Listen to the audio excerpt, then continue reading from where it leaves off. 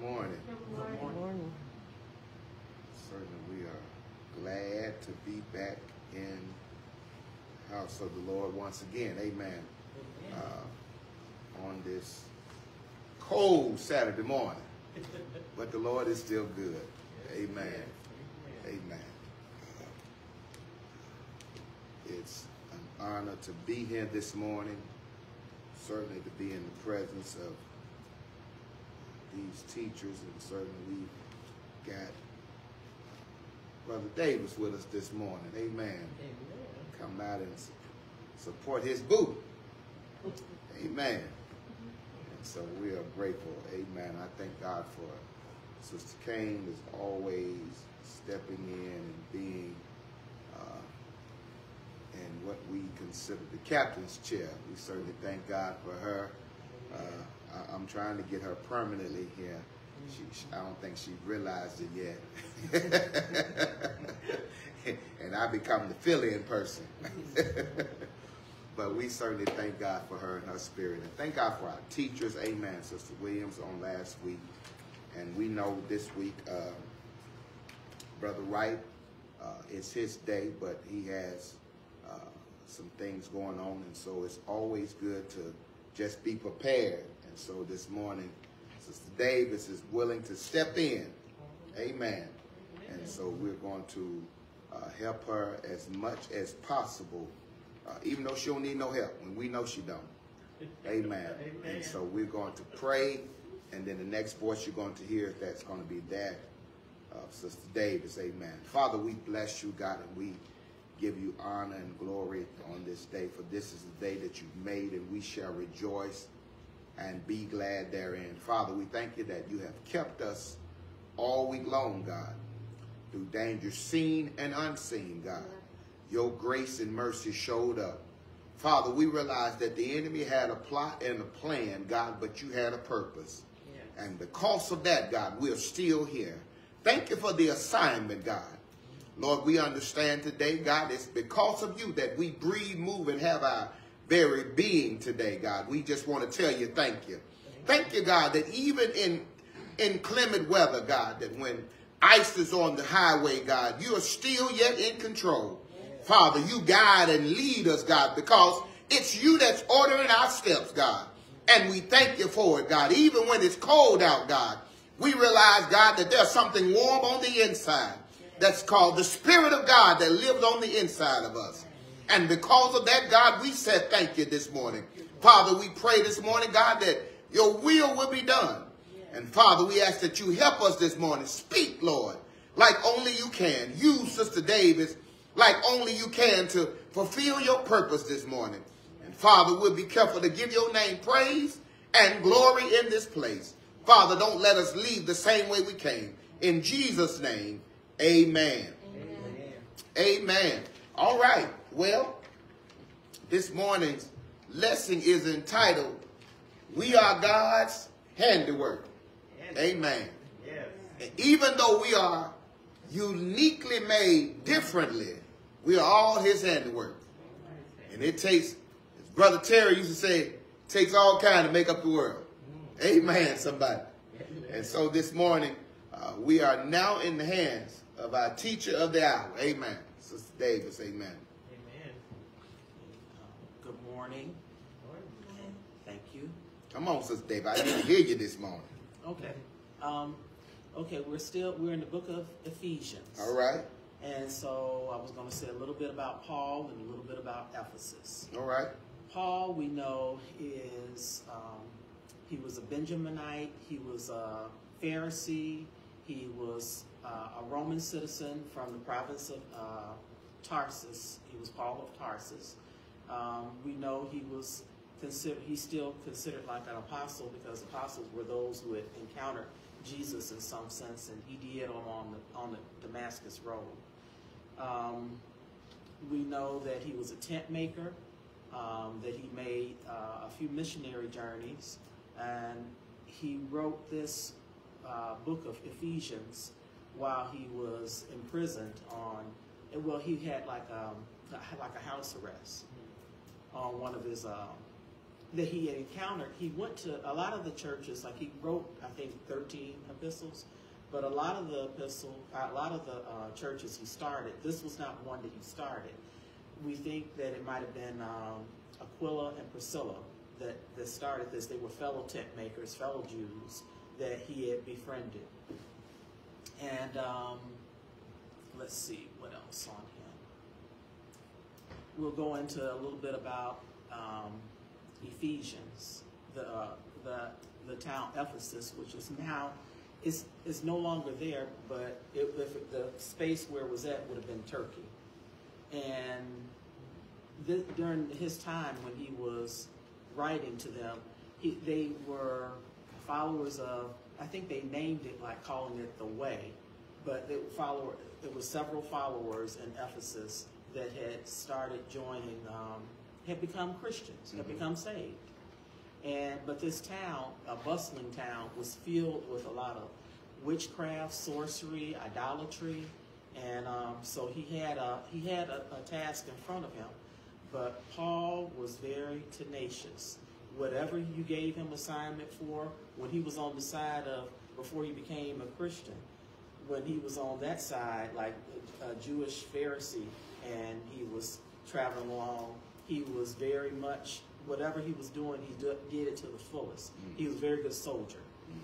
Um, and so, him trying to um, gain uh, people over for win souls for Christ, he was very tenacious in doing this too, to the point that the people that were um, idol makers, they were angered with him that he was so so good, he was pulling their people away. This was what they made their source of money that they made a lot of money out of selling idols and people were turning away and even in a lot of this is in acts i think about 18 to 20 a lot of them had burned up their books and they had stopped um, doing their things uh, they turned over to christ Mhm. so they had even come to a point where they were revolting and uh, paul had wanted to go there because he didn't back down on anything but the people prevented him from and so also, um, last week, we know that from um,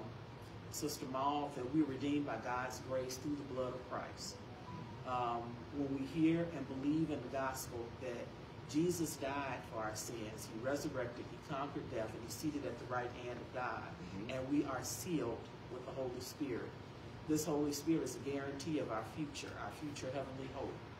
And we have eternal security that true believers in Jesus for salvation can never be separated from the love of God. All right. Um, I was quoting parts of Romans 8, 37 through 39. Um, Ephesians, Ephesians 1, 15 to 23 highlights Paul's thanks and prayers.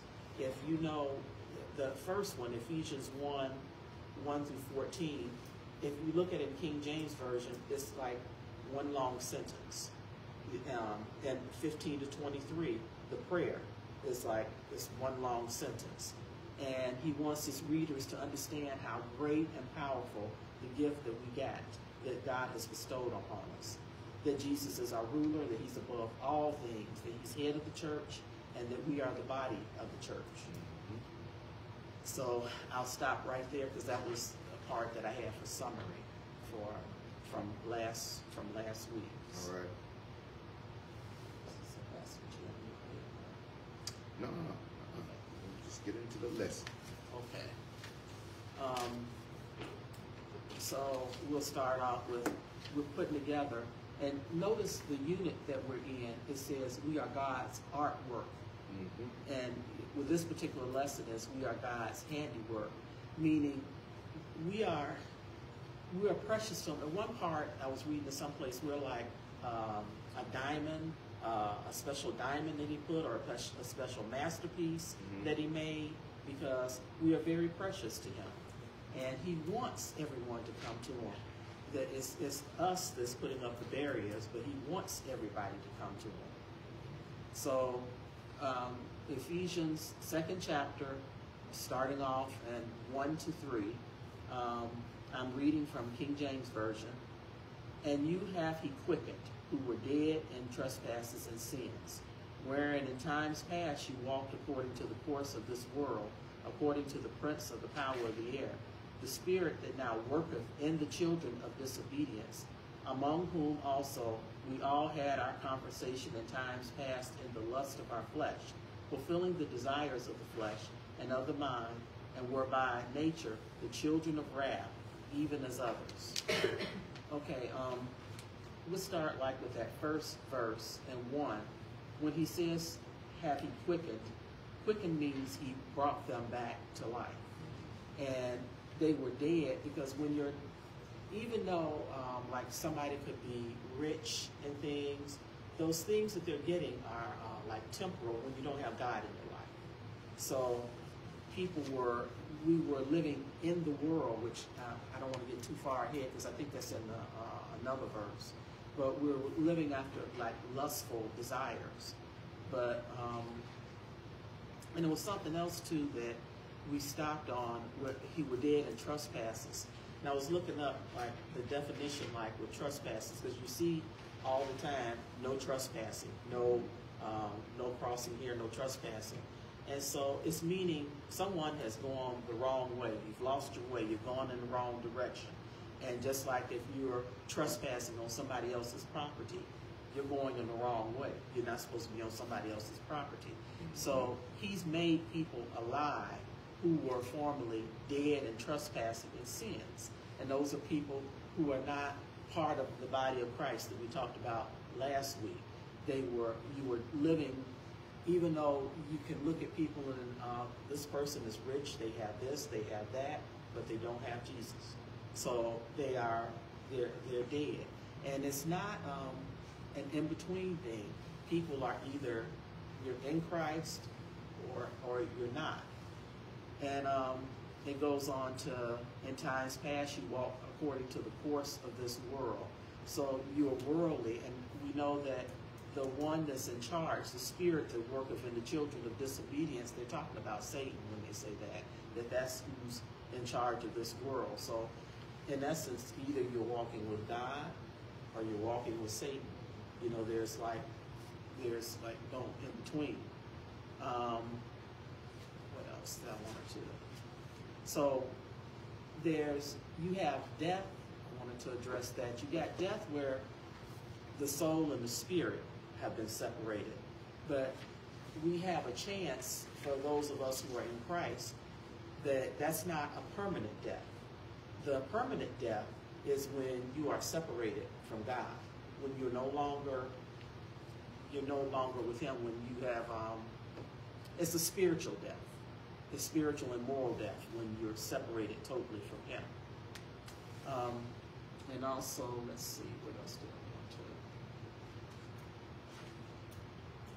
When you're living in the world, you're living without recognition and respect for God when we're caught up with things of the world, and that's that's the the spiritual death.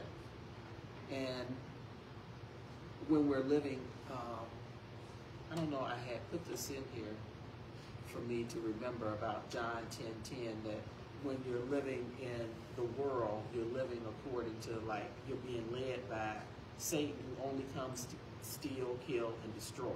So you're you're not living in the way that that God wants you to. And so when he with these first verses he's going over, he's telling us of how the bad things were before he came and, and made us alive and turned us around. And that, that was our nature, being children of wrath, our nature following desires of the mind, desires of lust, and desires of want.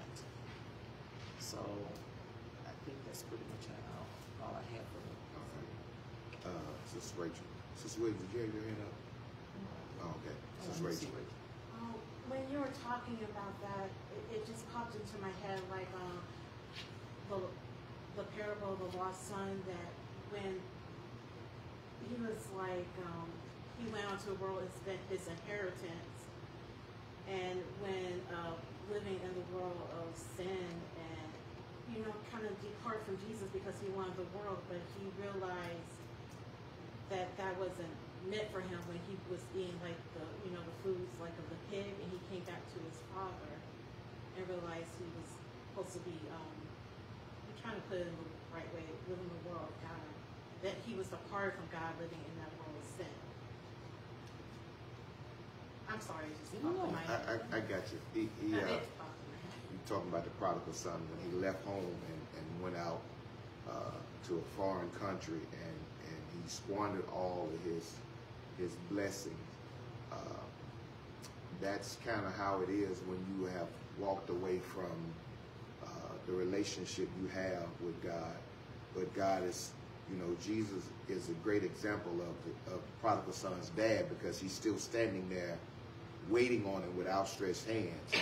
And that's how Christ has done for us because the Bible said that it's his desire for none to perish, uh, but all to come to a place of repentance. And, and so when we look at uh, chapter 1, chapter 1, uh, we see the Father had chosen us. Not only had he chosen us, but then the Son gave his life for us. Then also we see the mark of the Holy Spirit. Then we see the prayer. But then when we get to chapter 2, we see our past life. And this is what God has done for us. It's a reminder to us how far God has brought us. It's a reminder to us how far the Lord has brought us because sometimes because we've been in church so long, we forget what we really came from. That's why sometimes it's hard for people to really think about his goodness and all the things that he's done because you know what? We have been going through the motions and we have forgotten that we ain't always been saved. We ain't always been under the Ark of Covenant. We were out in a world that if God had have said, said so, or allowed, we would have died in our sins. But the Bible said that, that yet while we were yet sinners, Christ died for us. So in verse 1 it says, You have been quickened, made alive. That's what Christ did for us. He made us alive. Because guess what? When you're in sin, you're really dead. That's why the Bible said, For the wages of sin is death, but the gift of God is eternal life. So Christ did that when he died for us. He quickened us who were dead in their transpass, transpasses, trespasses and sins. We were dead in our sin. But Christ quickened us. How did he quicken us? When he died and then we got the Spirit of God that lived on the inside of us. We were quickened. We were quickened through the Holy Spirit. That's what brought us back to life. It's like being on the table and it's a code blue. And they come in and shock you back to life.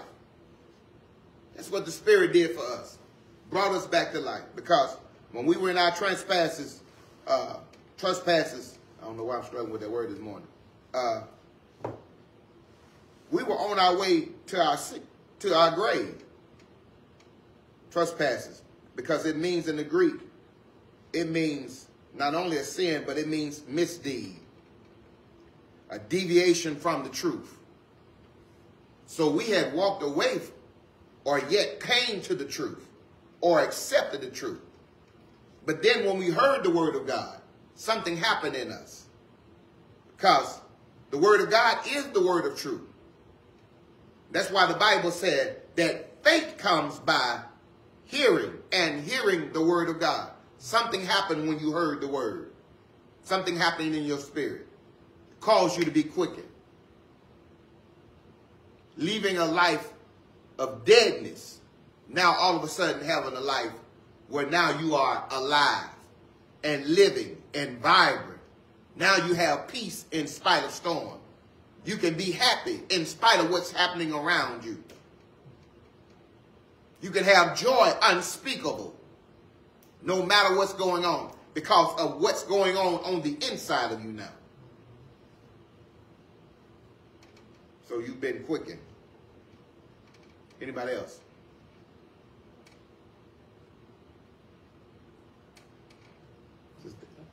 Dave. Oh, okay. Um, four through seven, they um, put those together. Okay. But God, who is rich in mercy, for his great love wherewith he loved us, even when we were dead in sins, have quickened us together with Christ. Mhm. By grace you ye are saved, and have raised us up together, and made us sit together in heavenly places in Christ Jesus. Mhm. So when we go back to that and we're saying when you're saying that God is rich in something, it's like he's letting you know it's not going to be we only got so much grace and this is going to run out. Or I only have so much love and it's that's it. Or like um, how some religions believe that it's only a certain amount, amount of people that's going to be there and that's it. That no, he is rich. He has it's enough to go around for everybody. He is rich in mercy. And um, in our Sunday school book, it was going about that, well, saying that if there was no wrath, there would have been no justice. And that the same entity, God, can give both. Jesus uh, met a couple of requirements. It, he brought justice and he brought grace. All these things through his, his death. That he could be both righteous and gracious, both just and merciful. Um, that's from our um, like our Sunday school book. And also, I had written. I wanted to look at that and um, it's Romans three twenty five, and it was someplace else. I want to say it was Colossians for this. Oh, Colossians two thirteen, but Romans three twenty five, because I thought that that really sort of really said a lot. Now, my version that I'm reading from is uh, a Chicken Soup Bible, in Romans three twenty five. For God sent Jesus to take the punishment for our sins and to satisfy God's anger against us. We are made right with God when we believe that Jesus shed his blood, sacrificing his life for us. God was being entirely fair and just when he did not punish those who sinned in former times. So, in essence, that was just reinforcing that he was both gracious and justice and, and brought justice. And it was the other one that I was looking at was Colossians and Colossians 2 and 13. Colossians 2 and 13, and here again reading from this is a chicken soup uh, Bible book. You were dead because of your sins and because your sinful nature was not yet cut away. Then God made you alive with Christ. He forgave all our sins.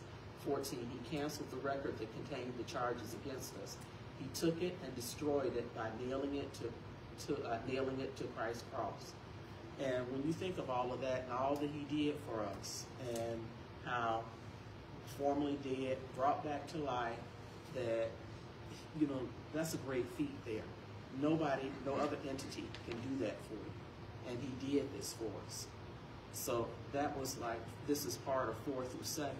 And then he raised us up with Christ and seated in the heavenly realm in Christ Jesus. In essence, when when we're accepting him, our old self dies. And we like when we communicate with him, like when you communicate through the Holy Spirit, you're communicating on, on the heavenly realm, that we're going to we're reigning with him. We are the body. We are the church, but we're the body part of the church, and he's He's the leader. He's the top. He's the head. Um, and that's one thing that our Sunday school book on page 101 wants to stress that that this is both now and in the future. The resurrection is both present and in the future. Salvation is both present and in the future uh, for, for our standings for now. So that's all I have to say for those. Anybody got anything they want to add? Did you read six? Did she read? Did he? She hasn't got to six yet. Oh, Yeah, no, no, no. She's She- just. Let's see, where did I go? Four through seven, and go go ahead. I mean, if you had something. Because I thought I was going four through seven, but, let's see. Go ahead. Oh, Sister go ahead. Okay, uh, I was looking at six and it said, and has raised us together and made us sit together in heavenly places in Christ Jesus. And you was talking about how it's both present and future. So I was, I was thinking about that when I was reading, uh, the verse, uh, which verse was that? how he how he uh, how he when when he have things in in the scriptures both present and future. I was I was reading. Oh, I can't find it now. Oh, okay, go ahead. I I'll come back to that because I can get my uh, thoughts together what I was trying to say. Yeah. Okay. Well, one of the things that I see uh, in verse verse two is we before we came before we came to Christ, we were under a different leadership, and that leadership that we were under at that time still exists today because He is the Prince of Air. He is still active. His name is Satan, which means that we have to stay active in the role that we are now as children of God. And so the Amplified, I like how it reads because it says, in which at one time you walk habitually, you were following the course and fashion of this world. That's why Paul lets us know when he tells us, be not conformed to this world, but be ye transformed by the renewing of your mind. That means that there has to be a change in our walk, our talk. There has to be a change in every aspect of our life once we come to Christ. So he says that uh, you were following the course of fashion of this world, were under the sway of the tendency of this present age, following the prince of the power of the air. You were obedient to and under the control of the demon spirit that still constantly work in the sons of disobedience, the careless and the rebellious and the unbelieving who go against the purpose of God. So that lets you know that Satan is still busy. We are part of the fortunate ones who have obeyed Christ and came into the body of Christ through Jesus Christ and what he did on, on the cross. Verse 3 says, Among these, we as well as you once lived and conducted ourselves in the passion of our flesh. So he's letting us know, Paul letting us know, that there was a time when we lived that way.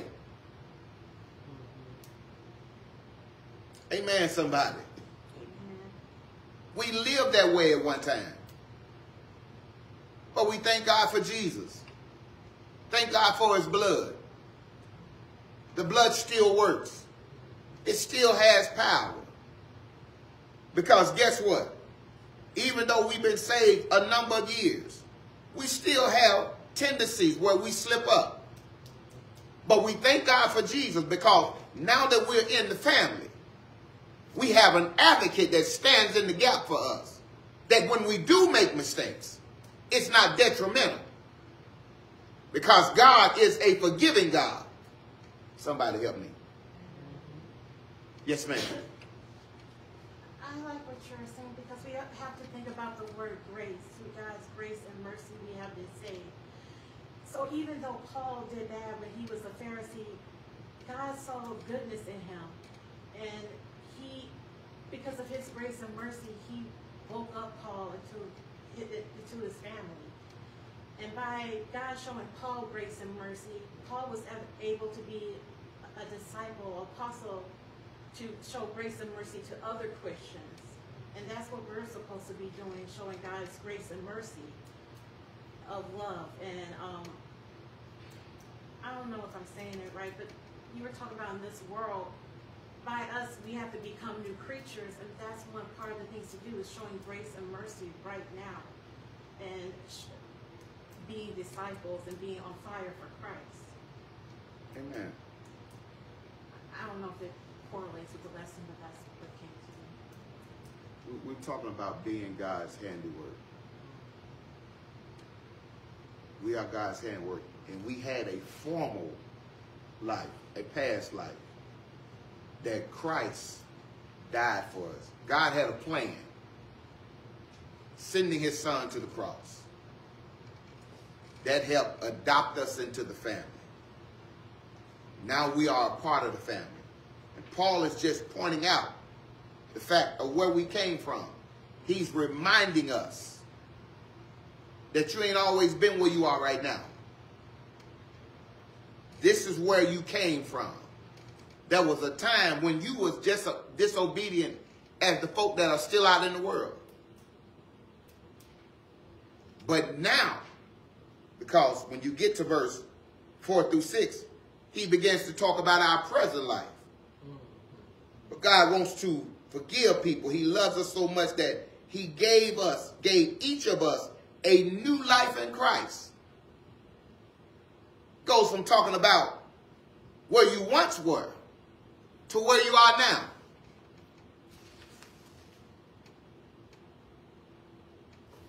Thank God for Jesus and the grace that he's extended to us. God is patient. God is love. God is long suffering. He has a lot of characteristics that we're still working on. Anybody else?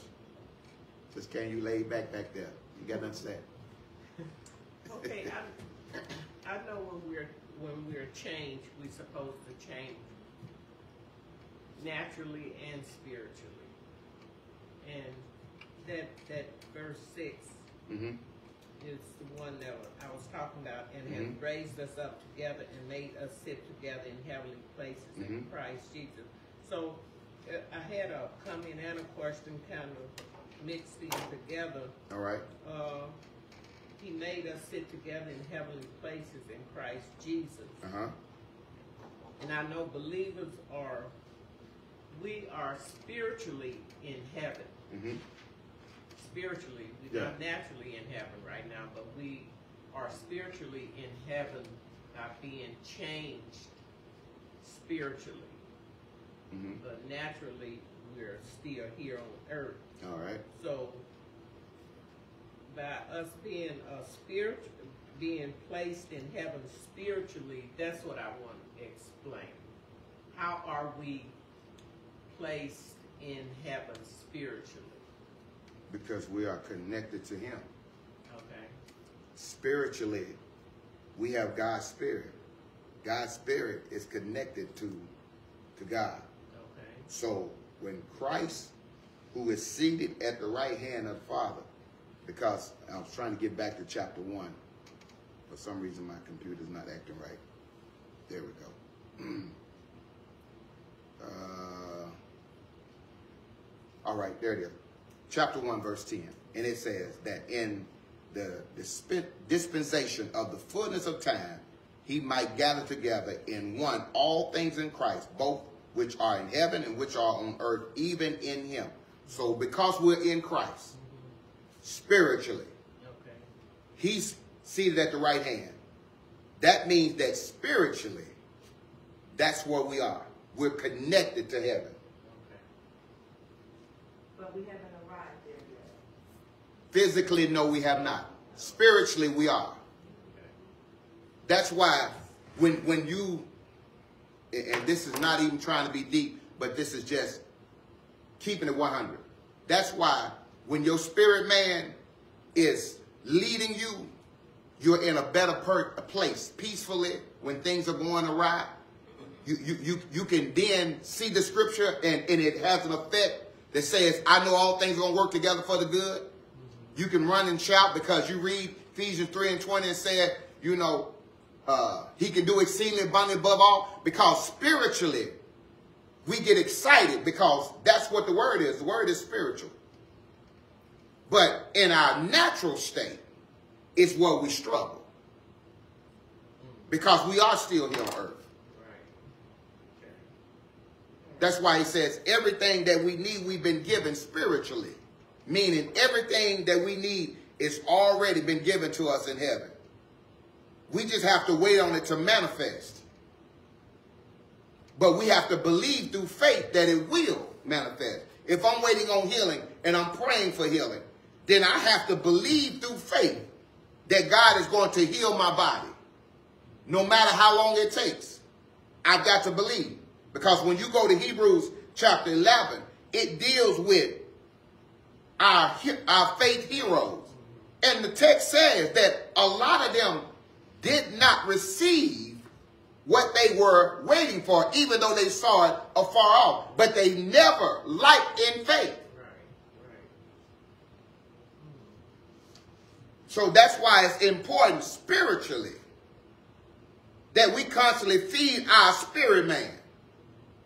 That's why devotion is, is, is, is good. Get up and read devotionally. Read your word. Stay in prayer. Because that helps build your spiritual man. And the more you build your spiritual man, the more that you can endure. The more you believe. The more you decree over your life. The more you speak positive versus negative. Because you understand the effect that words have.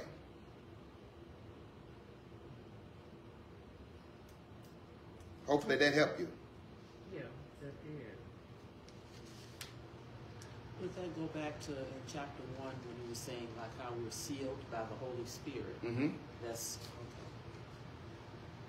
I also I was thinking back with um, when he's when in our verses that we're going over now, and he was explaining what we have in store for us. For what we have now, that's probably why when we're not in him, we're not feeling a sense of peace. And it took me back to it was a um, a coworker I used to work with, and every few months she would have um, something that she had as a goal, and she said, "Okay, now my goal is this um, diamond bracelet that I have to have." Mm. And then once she had the diamond bracelet, I was like, "So are, are you happy now?" No, I, it's, it's this particular car that she had to have, and it was always it was you know a goal like every few months for something that she had to have. And now when I'm looking back, and I'm not saying that I've been any better or anything, but it, it just stood out to me as a good example of that you have lust of the world and things, and you're not finding an inner peace because you're always searching for that next thing, and you'll find everything that you're looking for in Christ. But because you're, you know, like I got to get this, I got to get that, I got to have it like this, that and that, that's part of what I was getting out of the verses here. That our peace and everything that we wanted, I think Pastor just addressed that, that everything they could see from afar, everything that they wanted, everything that you need is there in Him. Let, let me read something real quick. Uh, and it says, We don't sit in heavenly places with Christ, or at least not yet. Instead, we sit in the heavenly places in Christ. Jesus. Since our life and our identity is in Christ. As he sits in heavenly places, so do we. And now we sit in heavenly places.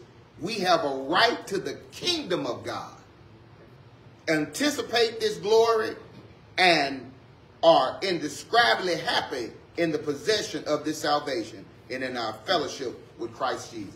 So because we're in Christ, we're seated. The. There you go. There you But go. We won't enter there until There you go. Absolutely. But spiritually, because we're in him, we're already there. the scripture says those who worship him must worship him In spirit and in truth. And then the, the word lets us know that whatever we decree down here on earth shall be released in heaven. Because there is a connection with us in the heaven. Whatever you bind, guess what he says? It's already bound. Whatever you loose is already loose. Because of your connection.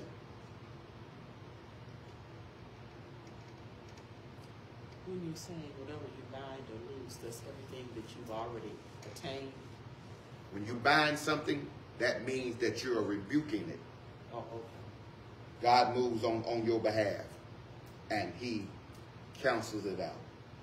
Okay. So whenever I release, whatever I loose, whatever I decree, God, because I'm a child of the king, God releases. Okay. Okay. Okay. See, I think that we would be, we didn't really, let me see if we did verse seven of where, that in the ages to come, he might show the exceeding riches of his grace and his kindness toward us through Christ Jesus. I think we did sort of cover that. That, well, he's saying that although we're there in him in spirit, that in the ages to come, the riches of his grace is back to the things of him having exceeding grace. That he has so much, it overflows, and his kindness to us because of Jesus' sacrifice for us. That will it says, I had this one paragraph here from this one book, that in the ages to come, those who have been seated in the heavenly places in Jesus Christ, as Pastor was saying, will see the exceedingly great riches of his grace. I forgot to get that uh, passage of where how eyes have not seen, Ears have um, and ears have not heard. We can't even encompass all the things that we have that's coming to us. And that's what I thought about with this one. That we can't even, there's no way we can think in our little, our limited minds of everything that He has so great for us. That when it says exceedingly great riches of His grace, of His unmerited favor that we gain through our faith in Christ. Not only will believers see God's grace, but they will also experience His kindness through Jesus Christ. And that's all I have for seven. If anybody had any comments on seven.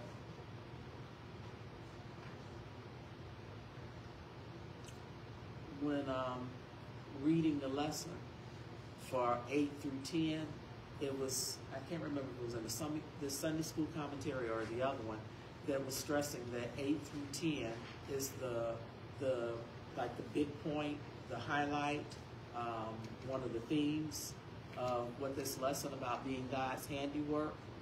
And for eight through ten, eight is for by grace are you saved, are ye saved through faith, and that not of yourself, it is the gift of God, not of works, lest any man should boast. For we are his workmanship, created in Christ Jesus unto good works, which God hath before ordained that we should walk in them.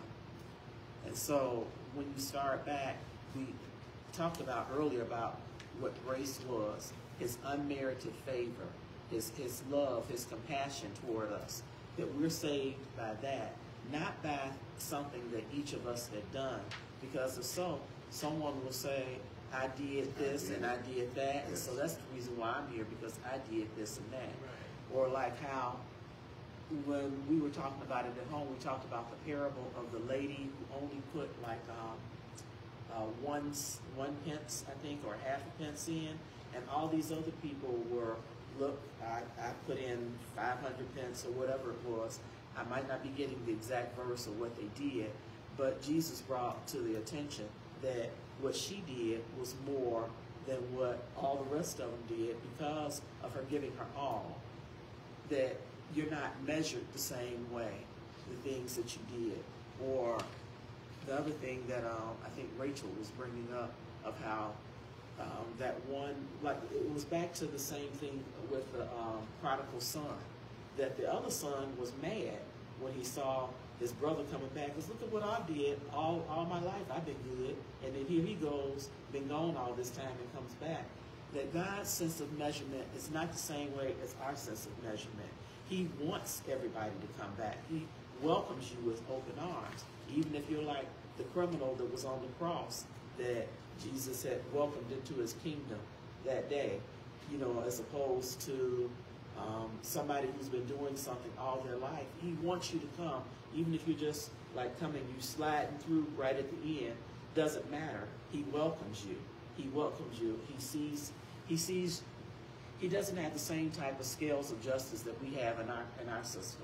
Because if we were in charge, we would condemn a lot of people except ourselves. But we find a way to condemn everybody practically except ourselves. So that's when it's by grace you have been saved through faith, and that is not from yourself, it's the gift of God, not by works. And it, I'm trying to think if it was in here or it's saying that it's not what Paul is teaching and what James are saying are contradicting themselves. Because James mentions by works, but when you get to a point that you're saved in grace and you have love, you're going to want to show that. But it's not a measurement of you that you're showing. It is because you're doing it out of love and out of what God has given you to show to others. You want to see others do well. You want to show the grace that's been bestowed upon you, but it's not making um, it's not making you better than anybody else. It's like that um, the saying. I think I first heard it with Jesse Jackson uh, years ago that if you're looking down on someone, you're only looking down to pick them up. That you don't look down to um, keep them down. You're just looking to pick them up. And then how every one of us, I think we said this earlier, you're a masterpiece. You're his workmanship. You're like a diamond in the raw. You're you're everything to God because this is what he wants. He loves us so he wants us to come back. But it is us that are, you know, we have this block, this barrier, the resistance and things. Or you're tempted by the spirit of this world who is Satan, but he wants us to come back. But we are his handiwork or his artwork. We are his masterpieces. Um, we were created to do good works. Now, let's make sure, like, when we're talking about James, James is not saying that works alone, uh, but what he's saying is, if I got faith, then I ought to have works to go along with my faith, because my works ought to show my faith. That's what James was, is letting us know. You know, it's one thing for me to say I'm a believer, but then I don't have no works to go along to show that. I don't have no compassion towards mankind. I don't, you know, so so let's make sure that, you know, I don't want anybody to get confused to think, well, James is saying, no, you got to have works, because Paul is saying here that it's nothing that we've done. We are his handiwork. Paul is just showing us the great work that God did. God had a plan. God had a purpose. Let me read something. It says, Paul now comes to the purpose of God's great, God's great power. He writes about the reason why God raised Jesus from the dead. He writes about the reason why he raised us with him. He did this to show for all time his rich grace. That word rich is abundance. God is abundant in everything that he has. Because he's not a resource, he's the source. That means source means that's where everything begins, originates. God, God will never run out of anything. I'm gonna say that again. God will never run out of anything. You know, I was during the pandemic when it started. We were running to the to the to the to the uh, grocery stores and certain things they was out of. You couldn't buy no tissue paper. God will never run out of anything. He shows all time his rich grace. Nothing can compare with that. He showed this in the kindness that he showed to us in Christ Jesus. Then Paul comes back and lets us know that God is the one that saved us. It ain't nothing that we did. We simply accepted the gift. Amen, somebody. That's all we did. We accepted the gift. What work did you do, Sister Emma? I see you over there with your wheels turning. yes, ma'am. You just, No, you said, what did you say? I said we, Didn't do anything. that we simply accepted the gift. Right. I said by faith. That's it. That's it. Absolutely. All right, go ahead. You know, I was thinking about how we are in the world, and we're not of the world. Mm-hmm. But still, sometimes we let the world that doesn't know anything about living tell us what to do. Why is that? Said again, we, we, we, we let the world tell us what to do. Yeah.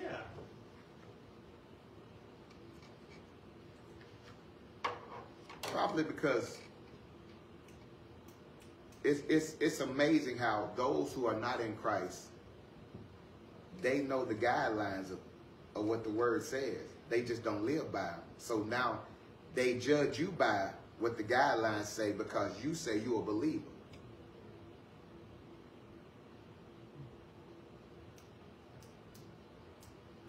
Now, we shouldn't be judged by them because that's not what the word tells us. Mm-hmm. But we are judged a lot of times by folk that are outside of the body of Christ. Because they are the they're the ones who say we are hypocrites if we fall astray or if we fall short.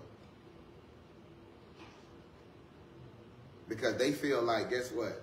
You saved. You ought to live a certain way. I ain't the one to say I'm saved. I don't go to church. That's why the Bible said, let your light so shine that men may see your good works and glorify your Father in heaven. That's why the Bible lets us know, don't let your good be spoken evil of. If there's something that you want to do, you got to know when to do it and how to do it. Can't just do it out in front of everybody. I ain't telling you what to do. I'm just. I know it, but I'm just saying. Okay, for example, let's just say you uh you want to celebrate, you want to have a glass of wine. That ain't the sin. But having a glass of wine, I ain't telling nobody to drink. But I'm just saying, that's not the sin. But if I'm become an alcoholic, where now it's causing dysfunction in my family, I can't pay my bills, that's where the sin comes in. That's why the Bible said, lay aside every weight and sin. Because weights are not necessarily sin, but they can become sin. But my weight may be a sin in somebody else's eye. Because maybe they don't drink at all. But me taking a sip and saying I'm saved, they may be like, oh, you sinning, you don't supposed to drink.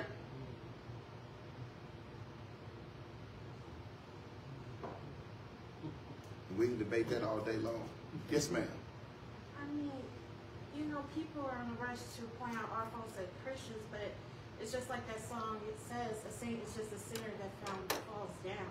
And got up. But people really need to read their Bible. A lot of people that we call righteous in the Bibles, they had their troubles. Like David, who was a man after God's own heart, even though he slept with an, another man's wife. But God still loved him, and he had his grace and mercy for him. So, and, and just another thing in the Bible, when God said, why, with that woman he was talking about who was a prostitute, why are you guys judging her when you guys got a plank in your own eye? We, we really shouldn't be judging each other, but lifting each other up. People, and those people who are putting us Christians on a pedestal, we're not perfect. We're not going to be perfect until we receive our holy body in heaven in Christ. And the Christians who are trying to be perfect here on earth, that's just going to try to drive them crazy. And here's the thing. That's what we have to explain to people, though. You know, because people, but here's the thing. There's a misconception because some people try to make it seem like as a Christian, I am, I am perfect. I am just this perfect Christian. No, you're not. Because if I look down on somebody else in judgment, un, in personal judgment, then I've already sinned. There's a judgment that is allowed within the body of Christ when it comes to somebody who is hindering the church. If there's somebody in here who is living in sin out in the open and it is causing dysfunction in the church, the Bible tells us then we have to come together and put that person out so that it does not filter into other people in the body. But for me to just look at you and say, because you don't live like I live, and judge you that way, then I'm the one who is living in sin. Yes, ma'am. Um, and I, I kind of wanted to piggyback off what Sister Simmons was saying about the, those of the world and the Christians, those that are saved. Mhm. Scripture says we all have sinned and fallen short of the glory of God. even though we've accepted Jesus Christ as our Savior, guess what? We still sin. Bible said righteous man falls seven times. Amen. And he knew that we would sin. Absolutely. That's why he gives us mercy. Amen. It falls right into place. Mhm. But the ultimate will of God is that we accept Jesus Christ as our Savior. Yes. Once we have accepted Jesus Christ as our Savior, we have been, last week, adopted into the family. Absolutely. We belong to Him. Yes. Now, because we belong to Him, He has given us every tool that we need while we're here on earth. Right. Because He already knows what we're going to be dealing with. And every day, every one of us, me included, sin. There's no sinless person. We're still sinning every day. That's why we have His mercy. So when I was looking at this lesson, as it said um, in this book, God is an artist. When I started studying the lesson, I just pictured myself looking at God, drawing out my life on this canvas. And when he started drawing it, he was showing how I was. And as he was going, he said, let me perfect this. Yes. And he made some changes in that drawing. Yes. Amen. All right. And that drawing began to show where I'm going to end up because I had accepted him as my Savior. Amen. Watch, watch this. Y'all were over there painting not long ago. When you started, some of y'all might have been like, oh, I didn't mean to do that. But by the time you finished, There you go. the piece came together. And you was proud of it and you was taking a picture with it. Amen. Amen. Amen. He is an artiste. Uh-huh. And if he made us, because it says we are his handiwork. We are perfect in his sight. Even with our flaws, we're still perfect in his sight. Thank you, God. Because when he looks at us, he sees the blood of Jesus Christ. The blood is what helps our perfection. Wish I had somebody.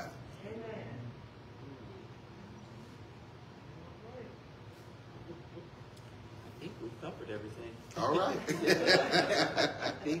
I think we covered everything. I didn't have, as I said, I didn't know I was doing this, and I normally don't have a summary on even on the best of days, and I don't have anything else. But I think I was listening to to uh, Sister Maul, and she was pretty much summing up the lesson there. Yeah, she, she just did it. Look, Yeah. it, it- It's like when Jeremiah showed up at the potter's house. And he's looking at the potter as he is forming the clay. And the Bible said that even in, in the potter's mind, he has an idea of how he wants the, the, the clay to come out. Right. Right. And when the clay does not act right, even though it's in the potter's hand, Yeah. the Bible said he just reshapes it back out again. And sometimes in our life, God is just, he does us just like this. Yeah. It does not feel good. It hurts, but he is just moving out the rough place. Because he is making us into the image that he wants us to be. Which shows me that even though the clay is in the in the potter's hand, sometimes it's still flawed. But guess what? The potter didn't stop. Thank God today for us. Sister Davis leading us in our lesson. Thank God for all the comments. Amen. Thank God, Sister William, for getting us stirred up here. Amen. God is good and He is good all the time. And certainly we are grateful that we are God's handiwork. We, we are His architectural piece of work. He has chiseled us and made us into what He all, wants all of us to be. And we, even though we're all different, guess what? We're the same in Christ. And for that, we're forever grateful. Amen. Thank you again, Sister Davis. Amen. Great job to be thrown in at the ninth hour. I know you had a lot of nerves today, and but you know what? Uh, excellent job. Amen. Come on, let's pray so we can close out. Father, we bless you today, and we thank you for your word, God. We thank you that we are your handiwork, God. Father, we thank you that we were adopted into a family. And then, God, we thank you that you looked past our past life, Father, and then you began to form our present life. And then you made a future life for us. God, it wasn't nothing that we did, but God, it was all your works, God. Because you sent a son of yours, God, your only begotten, to a cross on Calvary's hill, died that we might have the right to the tree of life. Father, we thank you today. Thank you for what he done, for what he did for us, God, over 2,000 years ago. Then, God, we say thank you for what he's doing for us right now.